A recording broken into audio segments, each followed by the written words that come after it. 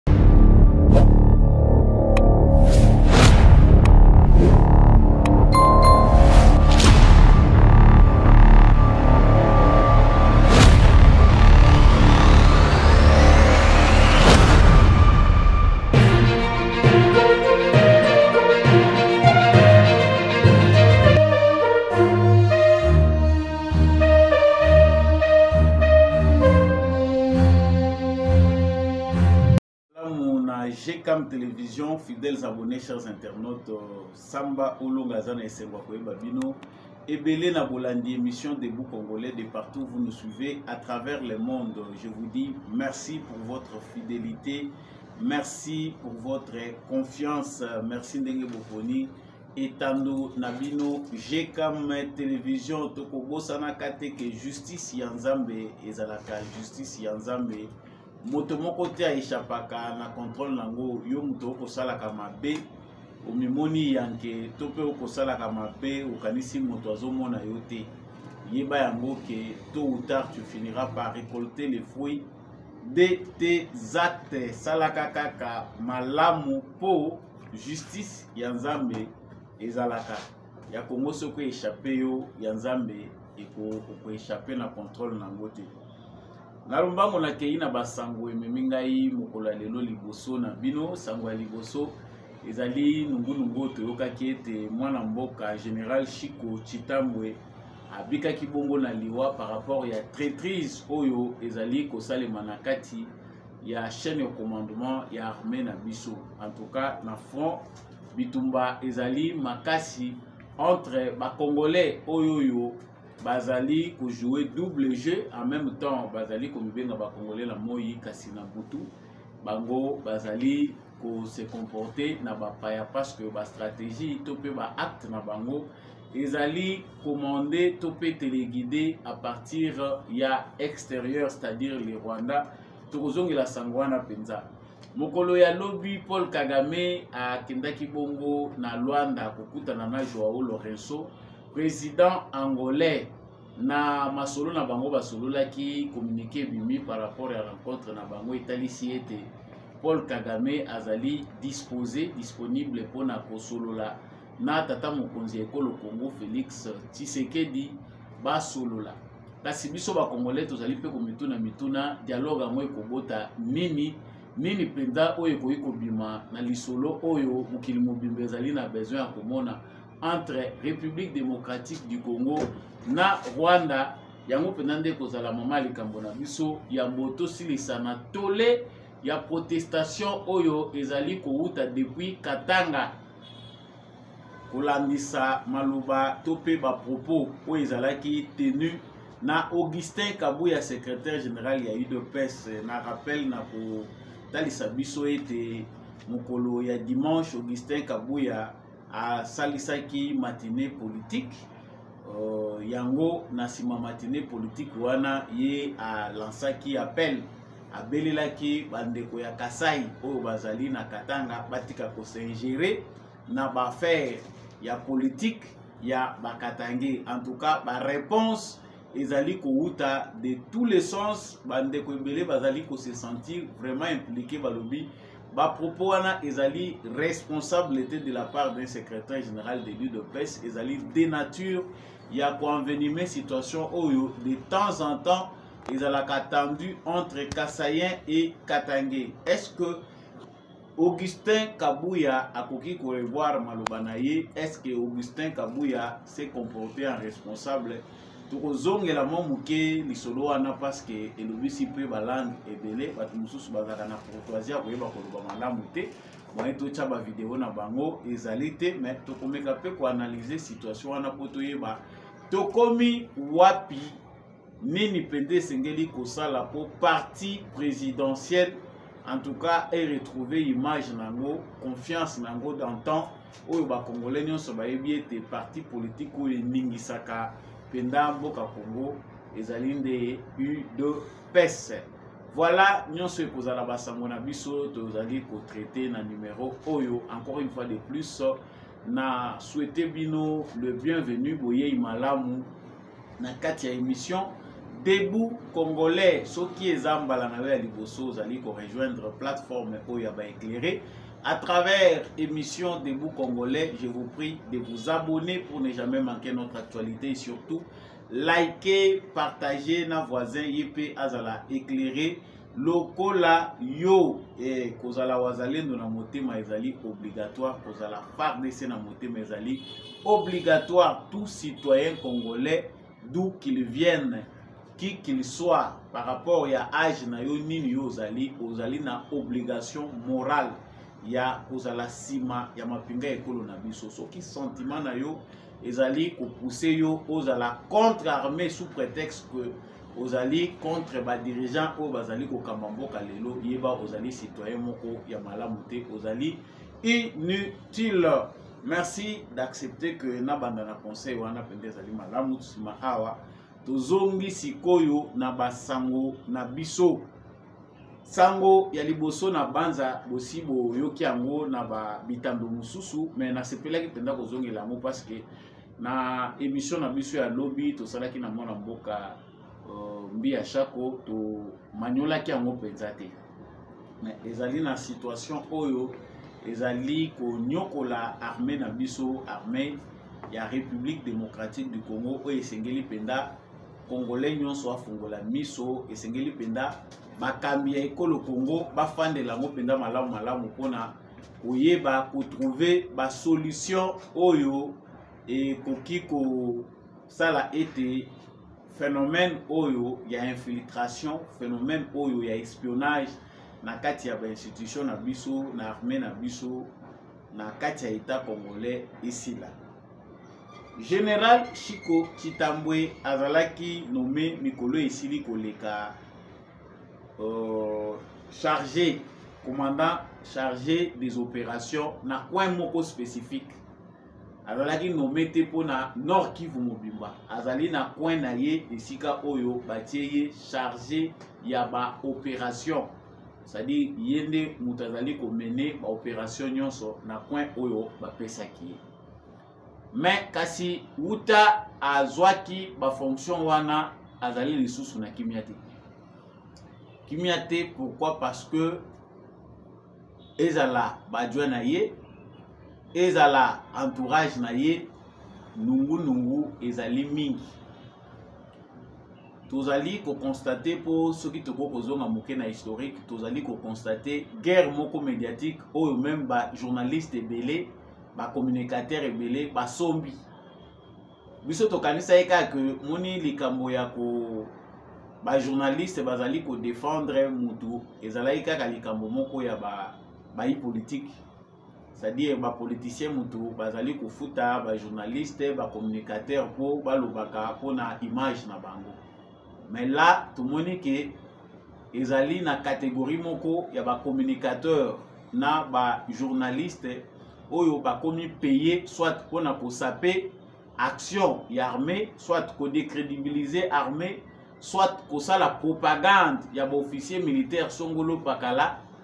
soit kodécrédibiliser bamosusu ezali attitude oyo tozali koobserve na bamédia congolais toutaki komona ntango uh, to perdre depuis week-end oyo euti koleka déjà partir ya jeudi vendredi toperdaki balocalité ntango tozalaki na kosafronte na baterroriste ya armée rwandaise mais bacongolais ebele baréaction ezalaki euh, tente d'émotion en tout cas tolandaki na bavideo ebele oyo nakoki kozwa ntan ya kotya awa te bandeko ebele bazali kosatake na général chiko chitambwe balobi depuis azwi fonction azali kosala eloko moko te aza foutu c'est quelqu'un qui ne mérite pas poste oyo batie ye tokanisaki ke akozala motu ya malonga mais azali na port moko te apesi depuis azwi fonction tozali kocontinue koperdre baposition ba, ba, ba tala sikawa baposition ebele balokalité ebele toperdre yango sans ke asala quelque chose en tout cas ce sont les informations qui sont parvenues à nos oreilles peut-être yo mpe moto ozolanda nga oyokaki yango beaucoup de critiques et les critiques là ezali toujours kolanda chiko chitambwe te ezali bacritique oyo tomonaka parce qu'aujourd'hui baspécialiste ya guerre bakomi ebele na média congolais sans toutefois même se baser sur histoire okokuta moto ayebi même histoire te mais azali kopesa bacommentaire azali kokota likambo oyo aza na maîtrise nango te Pourquoi Parce que il y a ceux qui payent l'encre de l'autre côté. toza komona yango mpo na bagouverneur toza komona yango mpo na bagénéraux mosusu sadi motu nyonso banumaka na est se soit baza na bato bakokumisa ye soit bato baza kokritike mais qu'est-ce qui s'est passé avec le général chico titambwe makambo oyo tolobaka uta kala soki ngai nalobi oyoki bandeko mosusu babengi ngai balobi ono oh te bodivise armée te baleki oyo baza banouveau banouvelle recrue bazali koya bazali mpe koya korenforce biso baancien apport na bango ezali makasi parce que bazali relève bango moto bakoassure relève mpo na lobi tozo komona ke armée ezali kose rajeunir tozozwa bato ya sika mais nous avons un problème sérieux qui se pose avant nafungolela bino parenthèse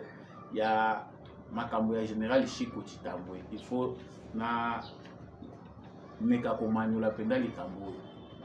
toza na problème moko sérieux ya rajeunissement ya armée na biso réforme ya armée na biso les problèmes que nous avons ezali batraitre oyo toza na bango na kati ya arme na biso bakomi lokola epine se nde na se ya lokolo mpo to arrive te ya komene à bon point reforme ya arme ndenge vision ya tata mokonzi ya ekolo eza kolinga yango bagénéraux ebele oyo toza na bango bacolonel ebele oyo baza na baopération na est ya congo bazali na système oyo bango basi bamesani na yango na façon na bango ya kotravaille félix tisekedi ki accédé au pouvoir asi atalisi déjà na armée mobimba moto moko te akolobaka ayebi te oyo ezali vision na ye mpo na armée ya république démocratique du congo il a besoin d'une armée républicaine bamilitaire il faut ba se dissocier na ba affaire politique parce que ezali ko relever na domaine na bango te les militaires ne peuvent pas être des politiciens je pense que Félix Tshisekedi l'a dit Kabila nanu atikala kovandisa ba militaire te koyebisa bango mais Félix Tshisekedi avandisaki corps militaire na biso nyonso ba officier supérieur ya armée na biso mpo na kotalisa bango que soki olingi kosala politique longola tenue kende kosala politiki à la place osala politique na kati ya armée olingi commerce longola tenue c'est simple kende kosala commerce tozali kosouffrir awa na likambo oyo héritage oyo afdel etikeli biso na joseph kabila cet héritage de brassage de mixage et des congolais qui ne sont plus loyaux envers la République démocratique du Congo. Nous avons une catégorie de généraux qui doivent les remerciements pour leur richesse na Joseph Kabila. Bango déjà bamiyeba bango moko ke ndenge Félix a accédé na pouvoir boye ils n'ont rien baza na, na volonté ata moko te ya koservir Félix Tshisekedi parce que basi bakoma ba riche Kabila moto a rendre bango riche na système oyo bango bazalaki déjà habitue na bango Kama, kabila ne demandait pas plus que sa propre sécurité pour kabila piller voler faites votre commerce mais boinquiete te pouvoir oyo ya ngai bagénéraux congolais baofficier militaire na biso ebele supérieur basi bamesana na attitude wana na rythme wana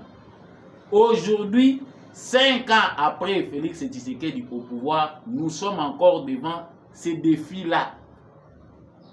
bana oyo bazali forme parce que tozali déjà wa 40 000 hein? déjà forme soki tolobi tolandela lisusu ndenge bamosusu bazali na baformation ane oyo ti tokóma na ane oyo eza koya tokozanga te ba 80 000 nouvelle recrue wana oyo lelo bazoya lokola énergie ya sika mpo na armée na biso mais défi monene oyo ezali kose présente lelo ezali ba vieilles habitudes indiscipline oyo ekota na armée na biso sur base du mauvais système oyo joseph kabila entretena mpe ye moko avandisaki ezalaki politike na ye ezali konyokola mitu ya bamilitaire ebele congolais sikoyo lelo toza komona ke soki batindi banome moto ya sika azali lokola mouton bake kotya ye na kati ya balion à moins que nzambe ye moko aloba ke moto wana abika chiko chitambwe bato mosusu mpo na bango bakumisaka ye parce que nous n'avons pas le temps ya kolue bamilitaire baza bapoliticien te mpo toluwaka bango on peut apprécier ce qu'ils font mais tokoki kosalela bango balouange ya l'excès te ya risque mpo totransforme bango bakoma bapoliticien les militaires baza bato te oyo fo bavandaka mpo bazwaka honneur na biso bacivile tokoma koyembela bango banzembo là c'est très dangereux soki militaire tokomisi kokomisa bango na angle wana on peut bien acclamer nos héros kovenere bango parce que ce sont nos héros bazali koservir d'exemple mais bakoki kosala objet te ya culte mpo na biso bacongolais mpo biso toza ndenge wana na makila bato oyo tu bakoli na jalelo ils n'ont pas encore ils n'ont rien appris depuis mobutu ti lelo bato bakoli na jalelo bazaka na culture wana ya kofabrikaka banzambe ya culte ya personnalité shiko citambo akiti na terrain place oyo akei mpo asala mosala na ye bapesi ye liboso azalaki adjoint na makambo etali baopération balobi te topesa ye nano opération moko akoordonne yango cestadire c'était l'occasion mpo bango batrouve moyen ya koboma ye bamoni ke nous avons un élément nouveau stratégie ya tisekedi ezali ya kolikide biso il faut to tolongola élément oyo parce que il a déjà étudié il a compris ce que nous sommes to efface ye mpo totikala kosala na makambo na biso biso ntango tolobaka bato mosusu bakanisaka ke tolobaka makambo ya liboma ce sont des informations que nous recevons venant du front depuis debut ya mandat ya félix sekedi bato baza kosese koloba bolongola baofficier militaire nyonso oyo bazali na front oyo kabila atika nous avons nos officiers militaires qui parlent bien le kinyarwanda qui ont des familles au rwanda on ne sait pas si nos services de renseignement bamaîtrisa bamouvement ya bagénéraux na biso nyonso oyo bazalaka na front oyo bazali na champ de bataille oyo bazali na kati ya baopération Chico Chitambo akeyi na ye alobi bon maintenant to changer stratégie voilà ndenge tokosala tobaki balobi ayi basingeleli na Kigali moto wana aye akobrouye bapiste nyonso moyen bozwa bainformation nyonso ndenge tosalelaka makambo eza te il faut l'éliminer basi basali plan na bango baplanifie balobi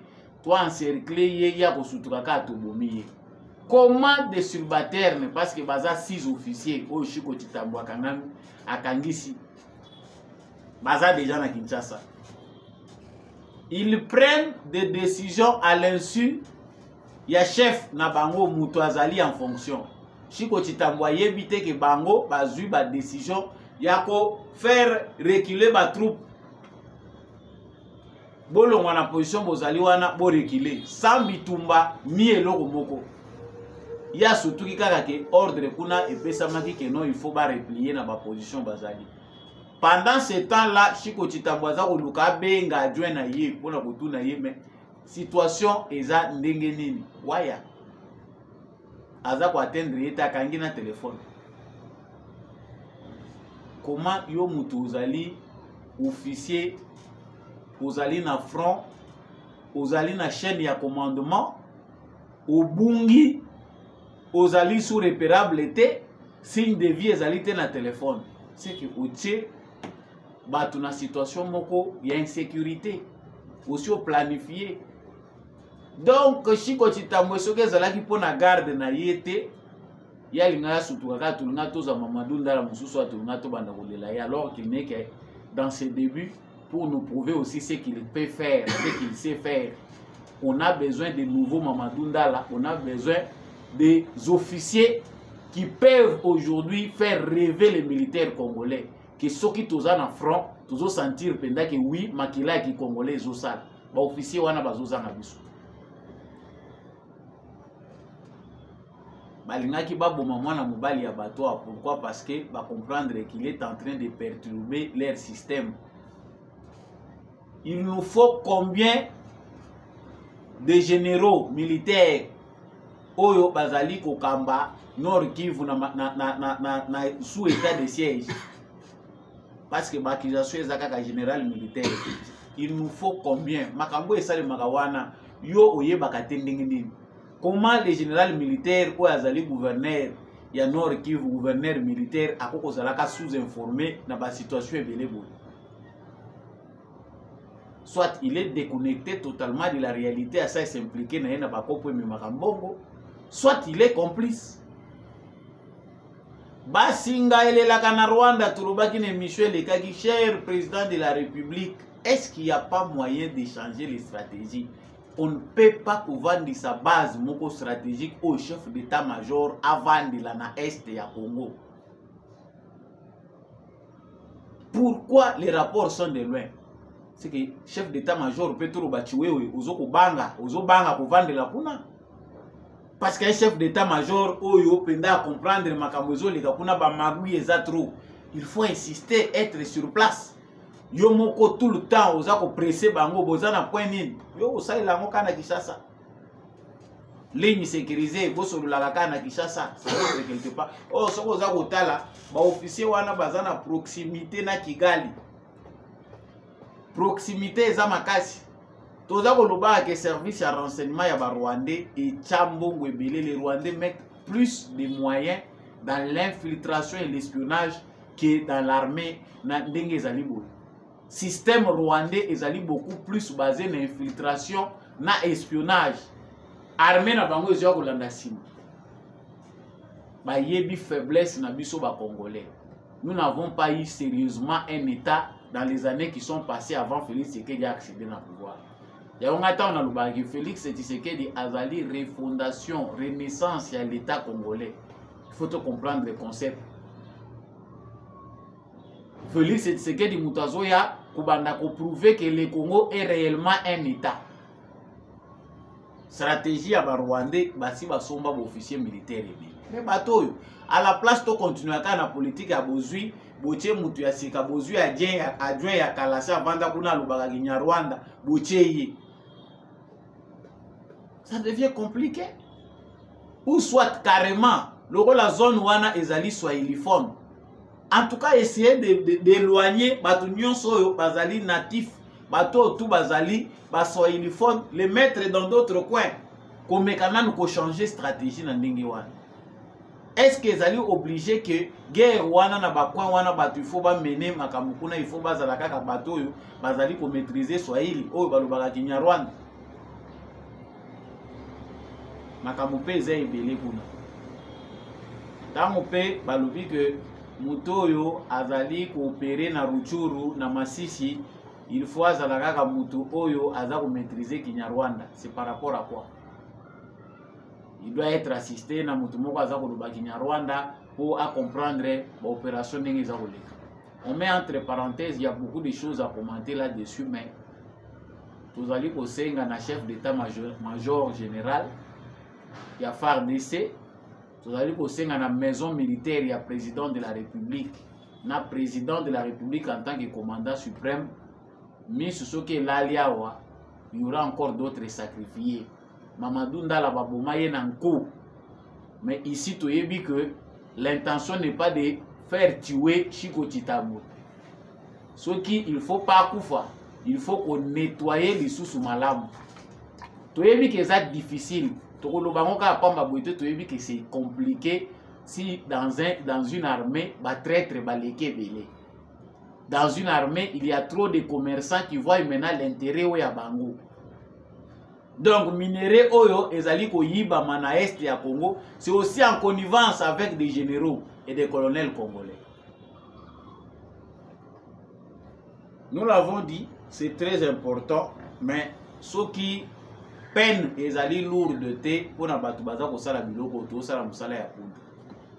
parce que il y a des, des histoires oyo esengaka même procès te na armée ezali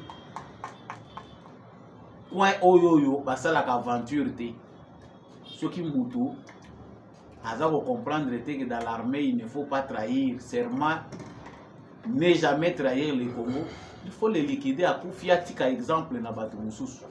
mais oyo ya biso bazoya kaka kinshasa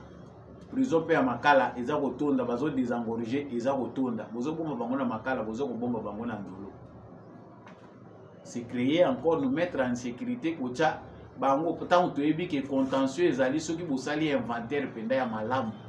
on aura des contentieux mpo na bagestionnaire ya baprison centrale ya ndolo na prison ya makala entre guillemets kagame akendaki lwanda lobi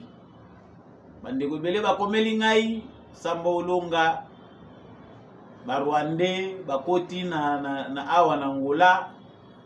barwandais baza koluka baatake déjà rdc joao lorenzo atrahir déjà tshisekedi barwandais bakoti ce que je sais avant nakota pourquoi kagame ayaki na rwanda tokota na information na ye tout ce que nous savons ezali que kagame craint beaucoup pour sa sécurité soki foli tsekedi azotambola laise omoni quelque part otali bolobi en tout cas moto oyo euh, azomimona na ye na problème te malgré tout ce que les gens pensent kobanga oyo bato bazobangela tshisekedi mais kagame aza kobanga ya kosakana te mpo kagame andima ko se déplacer kokende na angola il a fallu attendre très longtemps c'est-à-dire bareporte rendez-vous deux fois toyebi bien que félix sekedi depuis qu'il est parti esi esali une semaine ezalaki normalement dans les 48 heures qui suivent nani paul kagame mpe akende me paul kagame zela zela zela les militaires rwandais sont descendus parce que comme dans ses habitudes kagame akoma kotambola na ye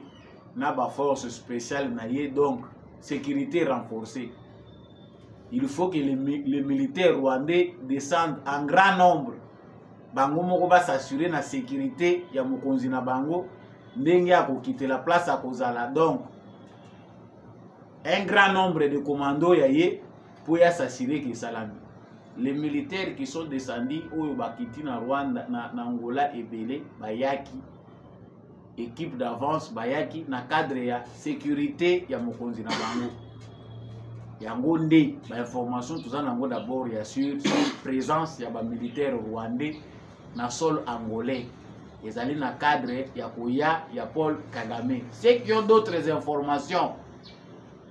on ne refuse pas les informations parce que toyebi que objectif ya baoccidentaux ezali kocreye bafoyer ya tension na badivers coins na ba frontière ebele ya rdc mpo tshisekedi a se sentir étouffé a collaborer ce n'est pas pour rien que à la veille mpo kagame aya baza kozela basali bamanœuvre na bango boyoki bacreye fond mosusu na nord ya goma bakimi bakote nyonso tomesana koyoka e mweso o oh, kote oyo bakimi nanu coin wana fardc progresse kote wana bake kote na koengage front kote mosusu bakomi kokende na bisika oyo bayebi kokende te baza kokende wapi baza kopalangana partout pourquoi parce que l'objectif c'est déstabiliser attaquer les populations civiles créer des mouvements de panique des mouvements de déplacement massif des populations civiles wana ekoma objectif na bango ça peut aider pour que félix tshisekedi acéder donc ezali moyen de pression ya kagame na banégociation bango bazali kozela toyoki ke kagame après avoir discuté échangé avec président ya angolais ya angola pardon oyo azali médiateur choisi mpo na dossier oyo il accepte de rencontrer Félix Tshisekedi. Le choix de l'endroit est allé président angolais nde mutu esengeli apona eza kodépendre na bango mibale te ce qui paraît arranger la communauté internationale parce que bapays nyonso toyoki awa biso baza kopesa biso nde kanda balobi il faut trouver une solution diplomatique. La solution doit être diplomatique et non militaire. Oui, nous sommes prêts à échanger toyoka criminel Kagame à Kolobanini, gouvernement congolais ndi mutelobaki yango ngai sambolonga te. Mais au préalable, tolingi ba militaires rwandais babima sur le sol congolais. À trois reprises, Kagame a fait semblant de faire sortir ses militaires du sol congolais et puis à Kokisa Yangote. Quand il fait semblant de retirer les militaires, il crée encore un autre incident à maintenir les militaires, soit à renforcer la présence. Et loko biso toza ko sous-entendre ezali que biso Congo tozali na contrôle te ya ba frontières na biso na Rwanda depuis le début de ces conflits. Parce que ba frontières na biso toza ko constater que chaque information toza ko yeka ba frontières na biso ezali poreuse ezali facile moto akota abima na ye baza kokota baza kobima ndenge balingi ils ont déjà un mécanisme mis en place tolobelaki yango na baémission elekaki baza kokota baza kobima ndenge balingi sikoyo awa balobi ke ilfo lisusu bakutana mpo basi bakutana mbala na mbala biso bakongole tomona ya sika ebima kuna te ezali mpo basolola nini deja bamekaki kosolola na cadre ya union africaine tomoni ke ezali deux langage différent l'autre kagame c'est un hypocrite lui il cherche des sujets de diversion à distraire bato temps elekaka nango pendant que lui est en train d'accomplir son travail mpo mosala ye batila ye na pouvoir eza yango wana est ce que c'est un dialogue pour nous faire passer le temps où il y a un bénéfice à tirer en tout cas analyse toza kosala ezali kokende par 4 chemin te ezali perte inutile ya temps la communauté internationale sait que kagame est devenu têtu ezali grâce ya appui na bango ce sont eux qui ont utilisé kagame mpo akomisa biso ntina point oyo tokomi il n'y a jamais eu de sanctions à l'encontre de kagame tant qu'il n'y a pas de sanctions comment voulez-vous qu'il fléchisse moto wana akoki koflechir ndenge nini ntango azomonaki bato wana balobaka na monoko seke baza na ye masolo nini tisekedi bakokende kosolola na kagame lisolo ya malonga ezali te le discours que tient kagame est un discours de fou dire que il y a une population menacée il y a un génocide au congo batuti bazali menacé ezali role ya kagame te kokende koatake rdc pour protéger les tutsi si les tutsi sont rwandais rappelez les ramenez les chez vous soki ba fdlr nde ozali kobanga il y a des rwandais sur le sol congolais oyo baza kosesentir qu'on se sentir menacé na régime ya Kagame. Si on veut que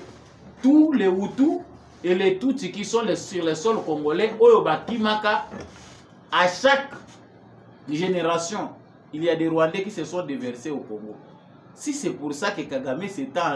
sent en insécurité, azwa bango nyonso bakende bazongi pa na bango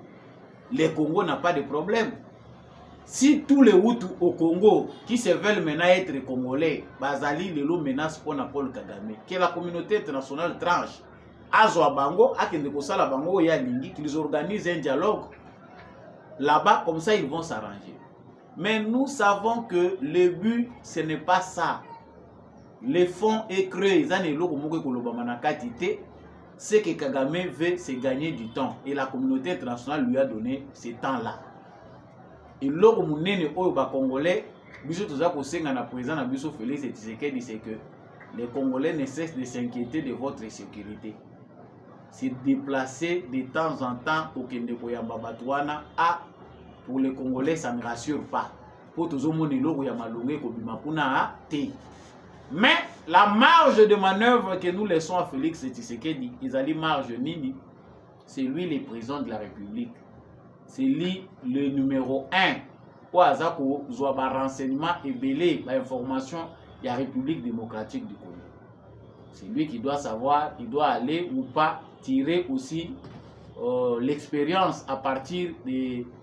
de ce qui s'est passé na mikolo elekaki nini oyo ye mpenza asengeli asala est ce que esengeli akende félix tshisekedi n'a pas le choix parce que c'est toute la communauté internationale nde bazali kopresse ye kekende de fois félix tshisekedi aza kokende te mpo euh, il est têtu aza koyoka biso bacongolais te mais c'est pour ne pas rester aussi seul en quelque sorte nous sommes seuls mais il ne peut pas dire au monde entier que voilà je m'en fous je n'en veux pas non atiki brèche pour que diplomatie continue kosala kojouer rôle nango c'est-à-dire on peut aller tokei kaka ndenge baluba balobaka tidingishelu formalité tokei kaka mpo tokende soki tokei kuna eh, oyo ekosalema esalami biso mpe topesi position na biso ole non na biso ezala non moko radical tozala na non moko catégorique c'est-à-dire tokei topresente oyo ezali thématique na biso topesi oyo biso tokoki koloba esili et nous congolais devons aussi nous organiser pour mieux parler avec des des de, preuves à l'appui sur les génocides, l'holocauste des Congolais. On nous a massacré on nous a tués, on a comme l'impression que la communauté internationale est à Libangoti. Comment résoudre les problèmes des rwandophones qui sont au Congo Il faut recourir à l'histoire. La communauté internationale doit accepter ses responsabilités vis-à-vis de la crise à l'est du Congo. Ils ont inventé eux-mêmes cette crise en demandant à Mobutu d'accepter d'accueillir des réfugiés rwandais pour cause du génocide préjudice yango lelo tous à revivre. le rwanda aujourd'hui est un, état à féliciter pour les européens les occidentaux qui avaient poussé mobutu à faire ça aujourd'hui kagame est un modèle malgré tous ces crimes il demeure modèle pour les politiciens qui sont les travailleurs des multinationales de leur pays chers congolais organisons-nous aussi de notre manière pour mieux faire parler de nous les génocides, c'est mieux dire parler de l'Holocauste parce que tant le bas génocide, c'est-à-dire les un peuple moko bango ba exterminé alors qu'on a tué les Congolais dans l'ensemble. Et ça s'est passé à l'intérieur, c'est l'Holocauste des Congolais. bazoya bazo komasakre biso bazoya bazomasakre biso mpo bazwa oyo ezali baminere bazali koluka donc euh, cher congolais ne perdons pas beaucoup de temps le défi est dans notre organisation le défi est dans notre gestion de la chose publique piège oyo bango batendre biso bayebi ke les congolais ne savent pas s'organiser les congolais ne réussiront pas à s'organiser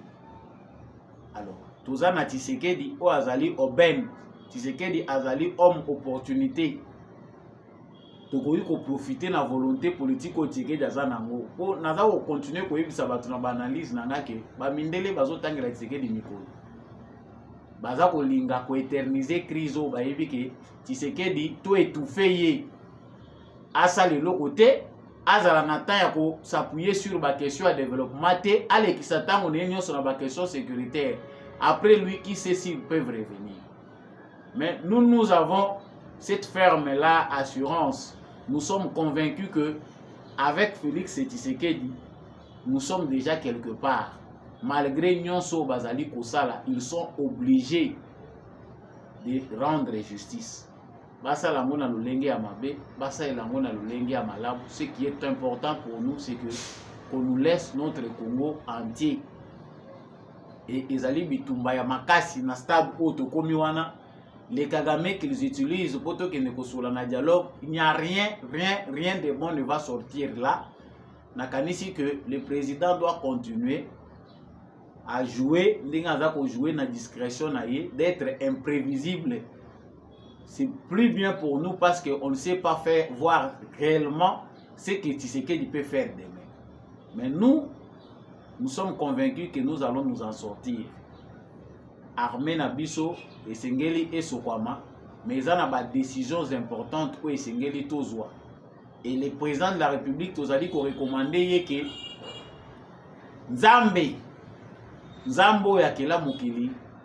s'il existe réellement il doit donner à Tshisekedi un nouveau esprit l'esprit à vengeance Félix Tshisekedi est très bon il a une mission de pacifier le Congo de mettre le Congo dans les rails, mais il y a quelque chose qui est de sa nature,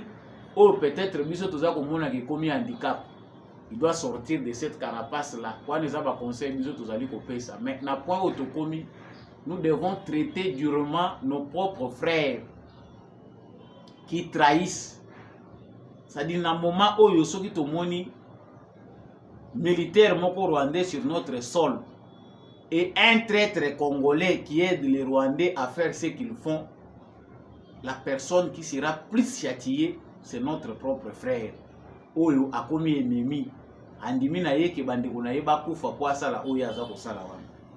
donc nous l'avons dit pendant ce temps que kagame est en train de chercher un dialogue il continue à avec son aventure baza kocontinue bakei bazongi bakei bazongi nous on nous dit d'attendre des dialogues Je termine ici avec euh, le point d'Augustin Kabuya. Moi, na boute ndenge babengaka ye par euh, ce qu'il aime bien. En tout cas, nazongi lisusu na point oyo parce que ezosala débat. Secrétaire général ya UDPS atenaki ba propos oyo. Voilà. Bino moko bolandi ba propos. C'est vrai que aspiration pour kokoma homme d'État ezalaka eza mpe mosala me esengaka mpe vocation notre informateur on ne sait pas s'il devient aussi formateur candidat à la vice-présidence de l'Assemblée nationale a blessé des Congolais. Nalandi analyse ya ndeko moko à partir ya Katanga azali vraiment énervé na ba propos ya Augustin Kabuya Katanga wana bato ebele bayebaka réalité nango te parce que quelque part le secrétaire général de l'UDPS démontre qu'il y a un problème ya histoire oyo ye azali komaîtrise te bo excuse soki baterme eleki mingi mais c'est ça aussi la politique soki nake mosika na maloba na ngai mais la politique nécessite une bonne connaissance de l'histoire de son pays une bonne connaissance de la géographie ezali baélément moko ya base simple oyo politicien avant aya kobakisa baide na ye na mayele na ye azokokotela na politique ou bien vocation aza nango mpona koservir ezali parmi les informations les éléments importants oyo politicien nyonso ifo azala nango na bongo na ye mpo asala politiki malamu na mboka na ye l'histoire du kasai et du katanga ekosila lelo te ekosilaka mpe te parce que c'est difficile si les gens ne maîtrisent pas les liens historiques comment voulez-vous ndenge secrétaire général ya idps aza koloba que bato oyo bavivre parce qu'il y a des gens qui sont au katanga pendant 70 ans bamosusu bakokisi 80 ans baboti bana baboti bana bango ce sont des kasaïens mais ils sont là comme des katangais ntango augustin kabuya aza koloba ke bandeko na biso ya kasai oyo boza na katanga bokei kuna te mpo bosala politike bokei mpo na koluka bokei mpo na kosala baaffaire bosala baaffaire non si 20 10 Kasaïen se décide de venir à Kinshasa, comme Augustin Kabouya aussi, s'installer, bavandi. basombi mpe ndako na bango soki bakoki kosomba bazosala baaffaire na bango ils sont bien intégrés parce dans leur pays congolais nyonso akoki kosupli toza na loi te oyo epekisi congolais apostule te to asala politiki te na kati ya province mosusu il se n'est pas inscrit comme ça dans nos lois la preuve ezali qu'à l'époque de mobutu il a nommé des gens toza komona ke motu ya province mosusu aza konome ye gouverneur côté mosusu l'erreur est venu avec l'afdel et les autres qui se sont suivis kota na biso biso bato ya boye ça beaucoup plus divisé les pays bandeko wana ebele babotami na katanga oyo bobotami kuna me bozali baautochtone te autochtone tokoma kolobela lisusu makambo ya baautochtone mpo na baprovince mais ça c'est divisé meme soki tocreye lelo état fédéral moto akoli kuna aza na culture ya kuna po soki bake mpe na kasai ebele mpe bazalaka integre te soki mpe bake na kasai bakomaka na kasai bazofinga bango kuna bazoba wana ya kata bawuti na katanga bazoya kosala nini awa pourquoi ils n'ont pas la culture du kasai ils sont nés grandi en katangais moi j'ai déjà oyo nasololi na bango bayebi kasai te babotami kuna bakoli kuna sikoyo motu wana aza koaspire alingi koservire mboka na ye na politike donc kopekisa ye ke asala yango te parce que azali originaire kasayen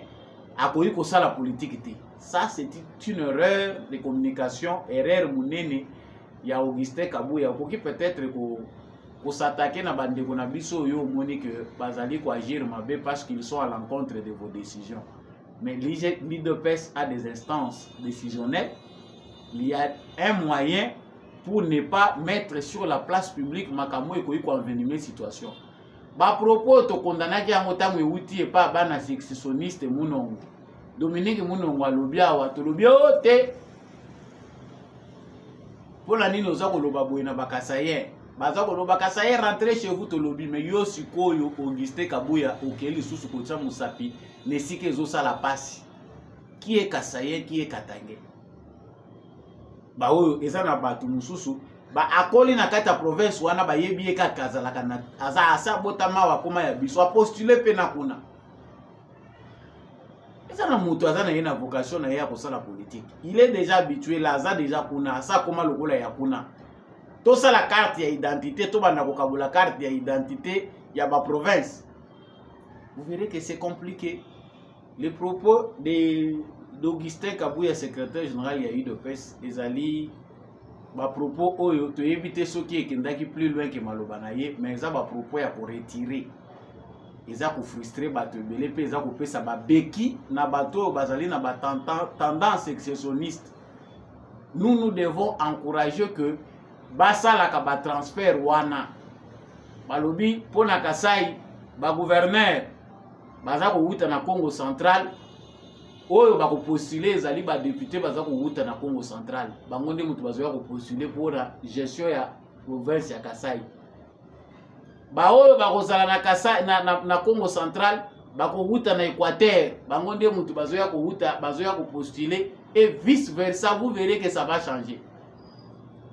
le fait ke tozozalaka kaka na bagouverneur na bato ya biso bato ya biso tendance ya bato ya se oye na bako na congo central outi oyo bato ya carataract na bato soki ya nini kuna oye kote oyo na kasai vous trouvez des divisions là ethno tribal soki peut-être to comprendre que il est impérieux de mettre dans nos lois situation wana mpo tokoma nation on ne construit pas une nation sur des logiques tribales moto aza ne na vocation ya kosala politike akoki kosala yango partout eye esengeli asala yango se okongo soki bato wana baaccepte ye parce que la politique se fait à la base si vous n'êtes pas à mesure ya koconvaincre bacombattant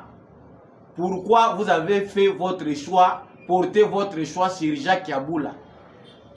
mais trouver d'autres raisons mpo na koreprimande bango parce que bacombattant ya udps bazali kose poser question et ça se généralise même udps ezali na bacompétence te ezali na bato babunda te ekomi kaka négociation bazwi oyo alie batie oye na congo central oyo négociation bazwi alie batie udps aza na bato to te c'est ce qui crée la frustration bato wana mpe babundaki wana mpe baza bato baza mpe na besoin baokipe bino bapeti na bino individuel éloigne bino na bacompagnon de lutte na bino ça fait très mal que ça sorte comme ça cher augustin kabuya très ambitieux on ne peut que souhaiter bonne chance parce que vice-présidence ya assemblée nationale ezali mosala makasi le 5 ans oyo oyo félix tshisekedi awuti kobanda mosala makasi ekozala na parlement eza kosenga bolingo eza kosenga kaka te eh, kosempozaka bato babangaka yo te eza kosenga bwanya eza kosenga bolingo ya ekolo mettre de côté oyo ezali ba appétit individuel pour mieux servir le pays bapetit individuel yango ebomi udps ya etienne tisekedi ifo toloba yango mpo ezopesa mpasi makambo oyo tobandaki kobelela yango kala asamba ah, olonga oba biloko ya ndenge wana eza koexpose parti bo, bo wana bokenda koyebisa bango na babiro na bango 5 ans après les combattants de l'udps bazolela mai ya miso pourquoi parce qu'il n'y a pas d'organisation motu nyonso akosala politiki te mais l'homme est un être d'intérêt ata oyo tosalaka tokanisi tozosala yango ya pamba ezalaka kaka ya pamba te il y a toujours un intérêt même dans ta tombe il y a un, tu as intérêt sur base ya makambo oyo yo osalaki na mokili l'intérêt le monde tourne autour des intérêts yo oloba olo nete babundaki est ce que bino bobundaki mpo bokoma boya kozwa misala non bakoki kozwa misala directement te mais pouvoir na bango mpe ekoki mpe kofacilite bango yo ozwi il faut mpe baninga bazwa tikela mpe baninga emission esili nakomi na suka napesi matondo mingi na ndeko mbiya shako azalaki na nsima kamera oyo mpe na realisation mpo ete émission oyo ekóma na bitando na bino matondo mingi na apôtre gérard kabeya chovo asalaka biso bien mpo ete émission oyo ekóma epai na bino Merci à l'homme de la vérité, de la vérité des urnes, Jean-Louis Timbalanga. Merci beaucoup à Papa Boniface Mpunga, Papa Maurice Kikangala. Merci à Papa Paulin Tika, Papa Freddy Ngwama, Papa Michel Lumakaso depuis le sud-ouest de la France,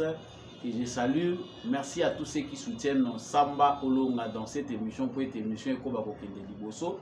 des fois soki bomoni tosali baémission te na baanalyse na bino seke tozali na méditation na basujet mpo na koapprofondir davantage maye tokoki kopartage na bino merci aussi ya mama bil bilonda merci ya mama lisette mombendu mama